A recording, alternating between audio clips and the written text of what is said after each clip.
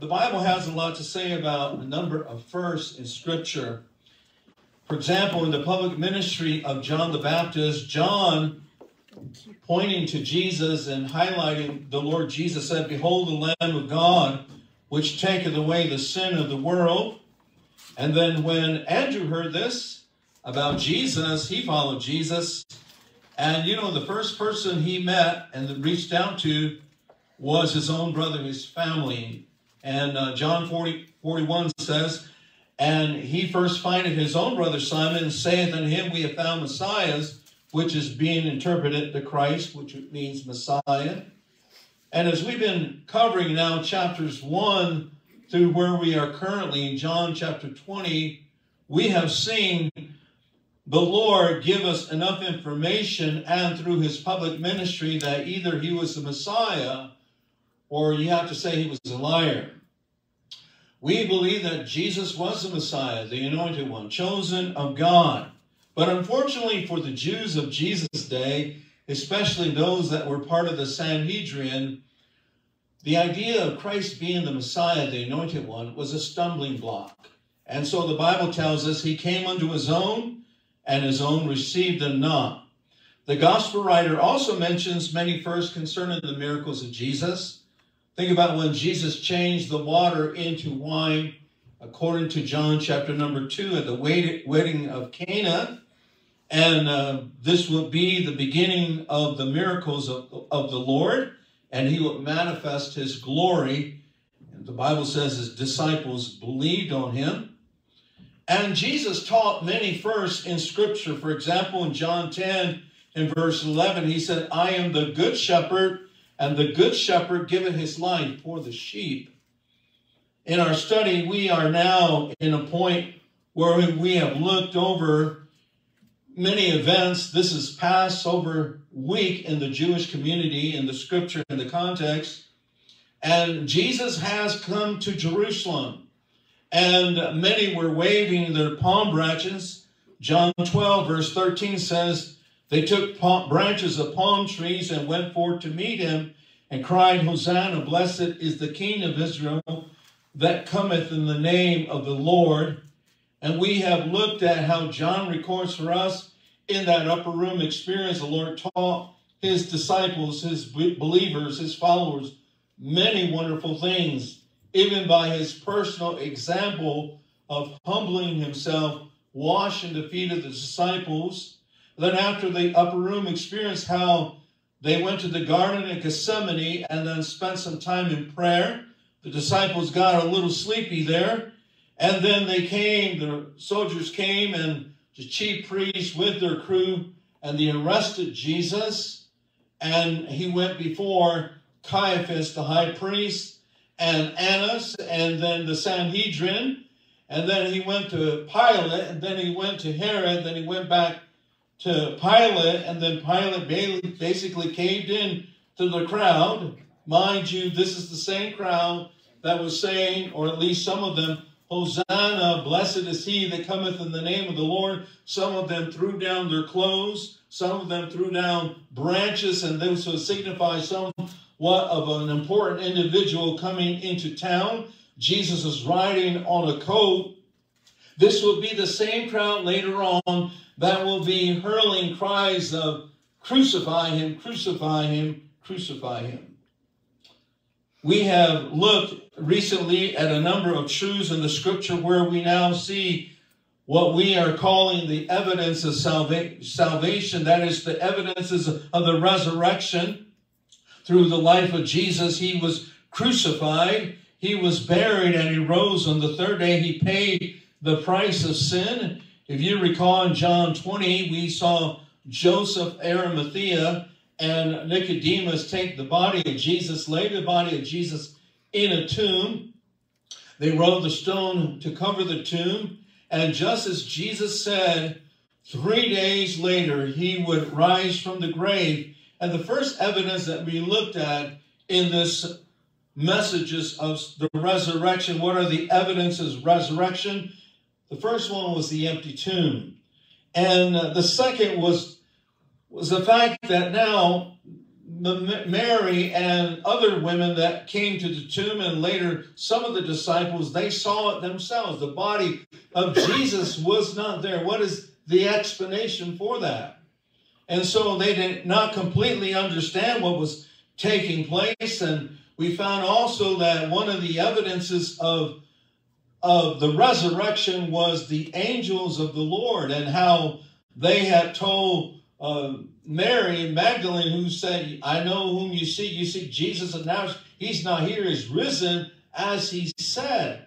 What would you be thinking if someone buried your loved one, someone that you hunt around, and now the body of the grave is not there any longer? What will be going through your mind? These were in shock. They were somewhat in unbelief that this could happen.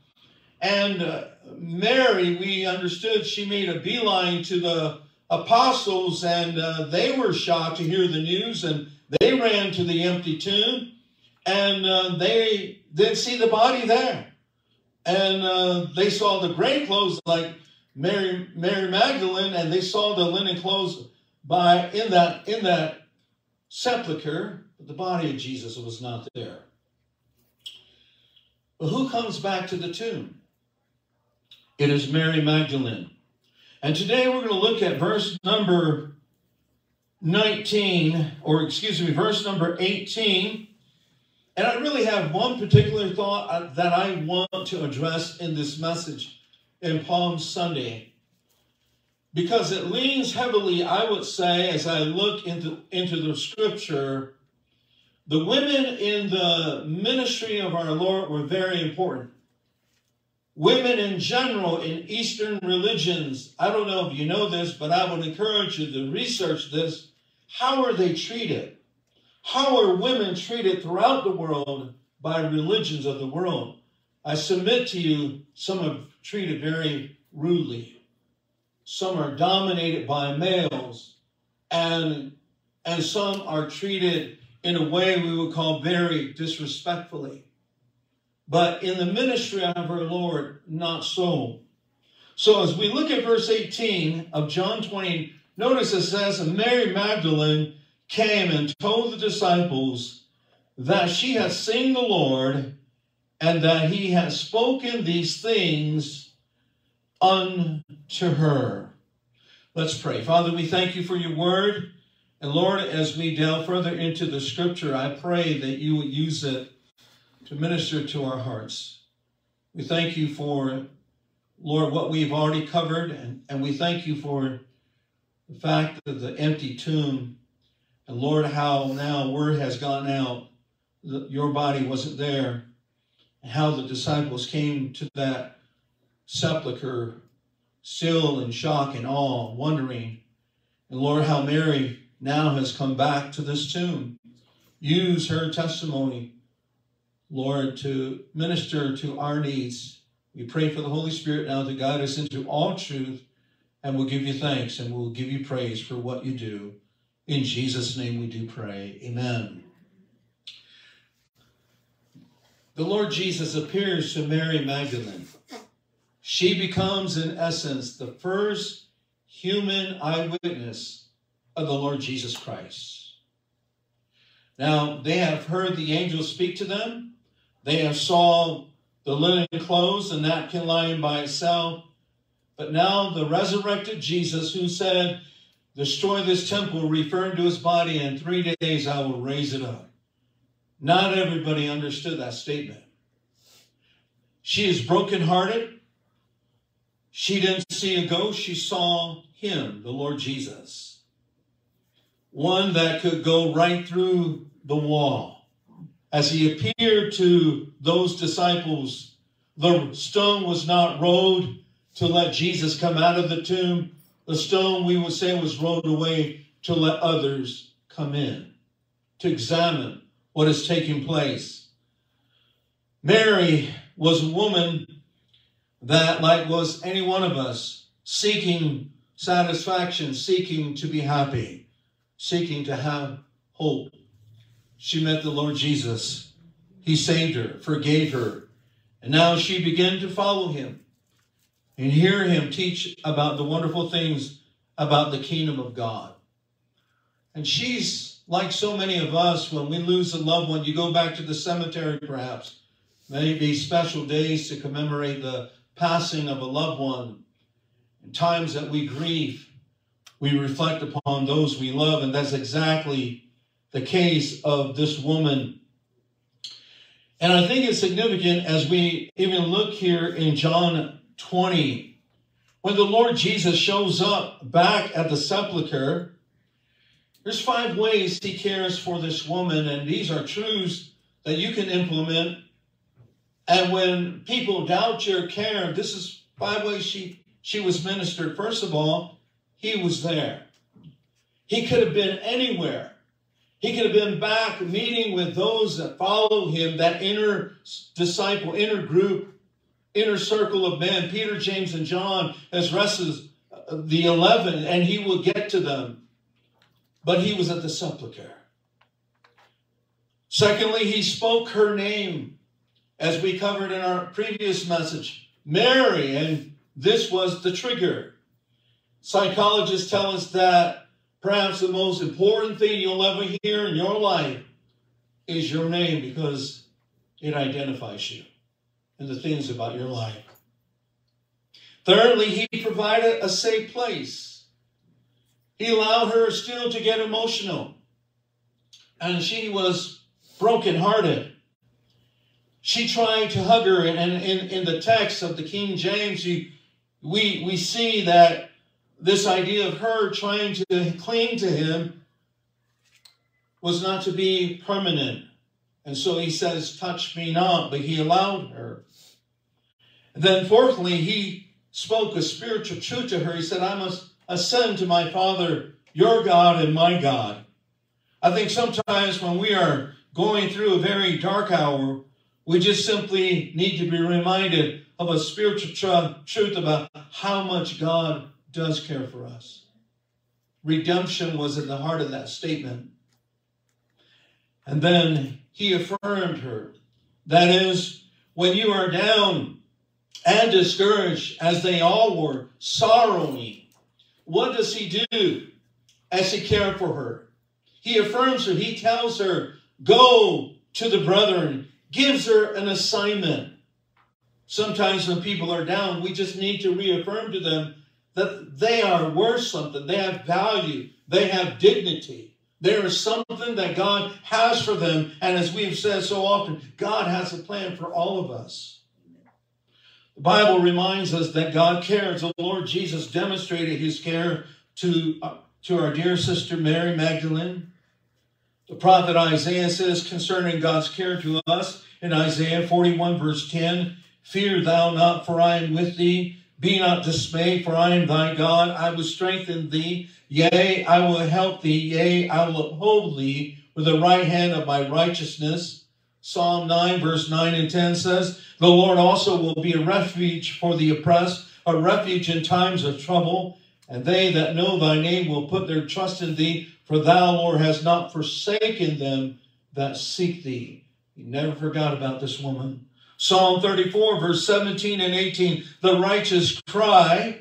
Just because you're a Christian doesn't mean you're not going to suffer hardship, sorrow, tragedies, and heartache, and we could go on. The psalmist said, The righteous cry, and the Lord heareth and deliver them out of all their troubles. The Lord is nigh unto them that are of a broken heart, and saveth such as be of a contrite spirit. Let me emphasize when your heart is grieving, we believe the Lord weeps with you in a sense. And I want us to consider something this morning, uh, maybe that you have not thought about and th that is Jesus honored women in his earthly ministry. He doesn't belittle them. He demonstrated compassion time and time again. He spoke truth and mercy and kindness to them. Going way back to our study in John 2, the first miracle, think about it. Mary, that gave birth to the Lord Jesus, said they have no wine insinuating this idea. And we don't have all the dialect in the dialogue. I know you're someone different. And he said, Woman, my hour is not yet come. And guess what? He changed the water into wine. He honored her in a sense. In John chapter number 4, the Lord conversed with a woman of Samaria. He did not treat her as a second class citizen. Though she was living in sin, Jesus treated her with great dignity and care. How about in John chapter number 8? And Jesus could have joined the ranks of those that were ready to kill and stone a woman caught in the very act of adultery. My question is, where was the guy? Why did he get off the hook and this woman now is about to be put to death by stoning? Instead, Jesus, we would say, defended her by asking a question to the crowd. He that is without sin among you, let him first cast a stone, and you could hear the stones begin to drop. Jesus lived in a time when women were oppressed, and many religions of the world throughout history have generally mistreated women. And I will again challenge you to go study this out. Remember, it was about two years ago next month, in April, this month, excuse me, we are in April, amen? I'm thinking March. When our soldiers deployed out of a country named Afghanistan, one headline read, the U.S. left behind $7 billion with military equipment in Afghanistan in the 2021 withdrawal. Here's one report given by the United Nations Human Rights, March 8, 2023. Since the takeover of Afghanistan by the Taliban in August of 2021, women have been wholly excluded from public office and the judiciary Today, Afghanistan's women and girls are required to adhere to a strict dress code and are not permitted to travel more than 70, 75 kilometers. That will be about 46 miles without a mahram. That will be someone that would, you couldn't legally marry like a cousin, an uncle. They are compelled to stay at home. What's driving that? I submit to you it's religion. It's oppressive in some states. On the other hand, Christianity is completely different. Jesus is our role model. He taught us to honor women. In Galatians chapter number three, what is God's viewpoint of guys and girls, male and female? Paul tells us this in Galatians 3:28. There is neither Jew nor Greek, neither is there bond nor free, neither is there male or female, for ye are all one in Christ Jesus. In other words, when you look at the body of Christ, no one has a dibs because they are male. No one has the dibs or the priority because they are female. We are all one in Christ Jesus. In Romans chapter 2, verse 11, we're told, For there is no respect of persons with God. The testimony of Scripture is that God has exalted women in everyday life. Think about it in the New Testament. If any of you guys are married, the Bible tells us likewise, you husbands, dwell with them according to knowledge, giving honor unto the wife as unto the weaker vessel, and as being heirs together of the grace of life, that your prayers be not hindered. Honor means value. Honor means esteem, to have respect for. Not that women are weaker physically. I've met some women at Walmart that I would not dare get in a tangle with, okay? weaker in the sense they're emotional, they're very sensitive. And my, oh my, I haven't learned this lesson, brother, and maybe you have. Uh, it's not what you say, it's how you say it. Amen? Amen. When I get to glory, I won't have to worry about those things. But here I need to continue to submit myself to the truth of the Word of God Robert Mayer said that human rights rest on human dignity. Someone stated death with dignity is better than life with humiliation. I want us just for a moment in this message this morning, I want you to look in the first book of the New Testament, the, the Gospel of Matthew. I want you to see in Matthew chapter number one what the Lord does concerning women. When you read the genealogies, and that's what I'm going to refer you to, in verses 1 to 3 here. What it is, is a compilation of men with their sons and how people were related brought into this world. But the verses I'm going to show you have four women. In Matthew chapter number one, it says, the book of the generations of Jesus Christ, the son of David, the son of Abraham. Abraham begat Isaac, and Isaac begat Jacob, and Jacob begat Judas and his brethren, and Judas begat Phares and Zamar of Thamar. Phares begot Ephraim, and Ephraim begot Abraham. Now, who is this? Who is this woman in verse 3, Thamar? It's talking about Tamar. You know who she was?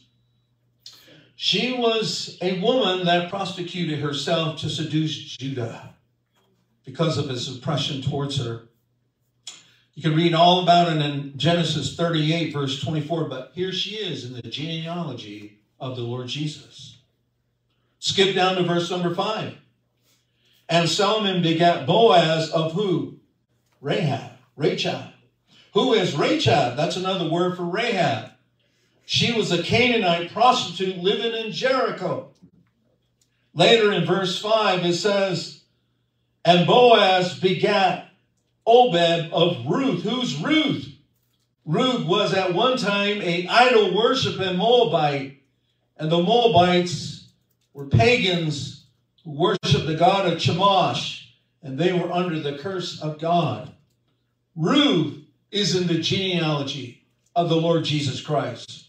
Look in verse number six. And Jesse begat David the king, and David the king begat Solomon of her that had been the wife of Uriah.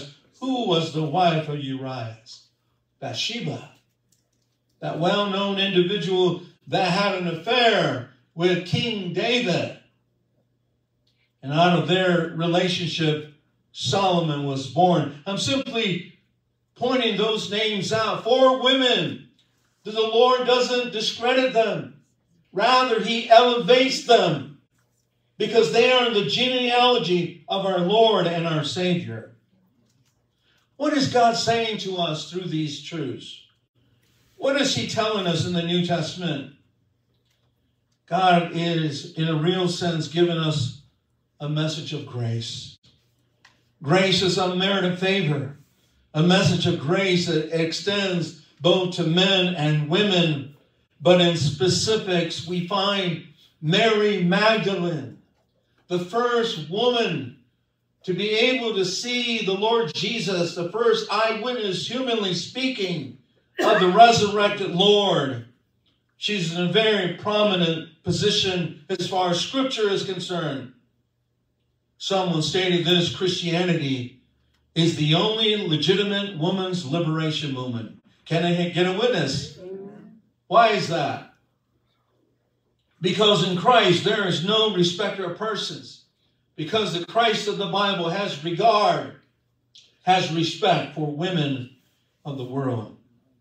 Mary Magdalene is given the blessing and honor of being the first eyewitness of the resurrection this was a lady with a former dark lifestyle.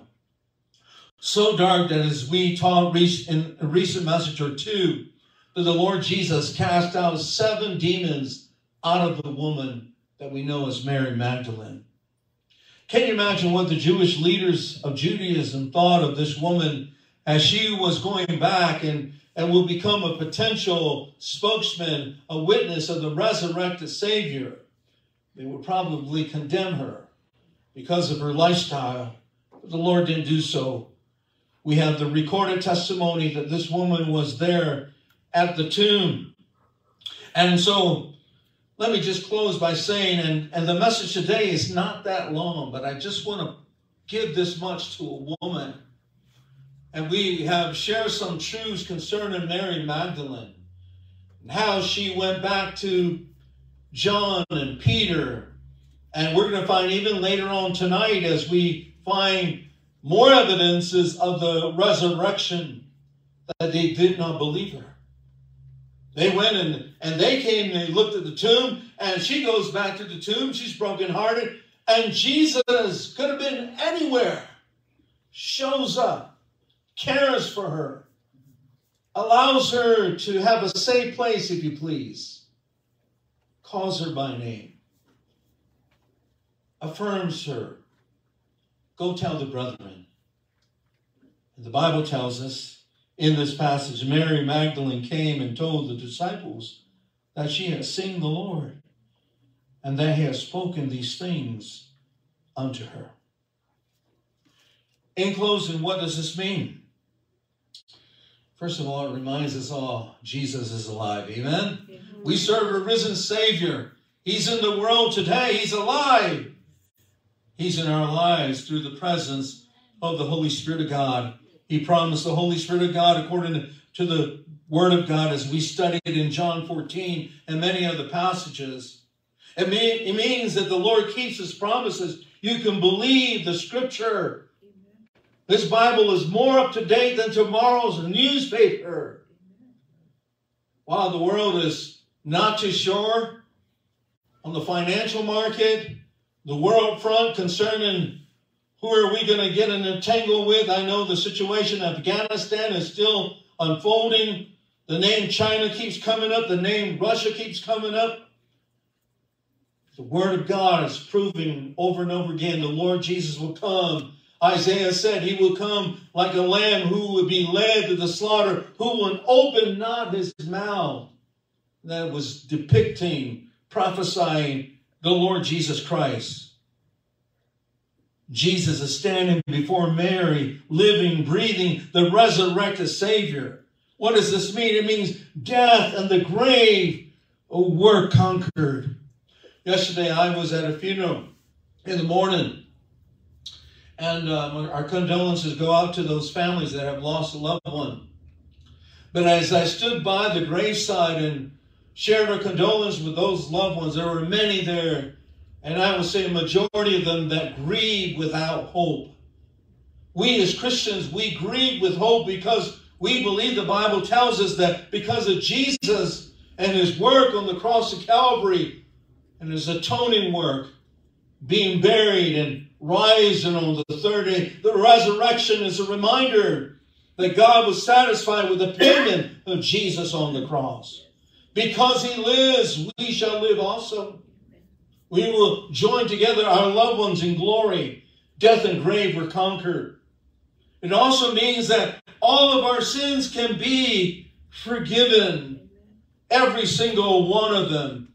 Isn't this what we want? Isn't this the centerpiece of our heart's desire? We want to be accepted for who we are. And the God, the creator of the world, has sent heaven's best so that we could be forgiven. Not by works of righteousness which we have done, but according to his mercy, he has saved us by the washing of regeneration and the renewing of the Holy Ghost. That song we sang earlier, saved by the blood of the crucified one. That precious blood was poured out, spilt for us, that all of our sins, past, present, and future, could be forgiven. And then as I think of Jesus standing before Mary Magdalene, what does it mean? It means everyone, including women, matter to God. There's a lot of confusion in the world today, and I won't go down that particular thought, but know, when you think about what the Bible says, you and I are made in the image, in the likeness of God. Now, wrap that around your head.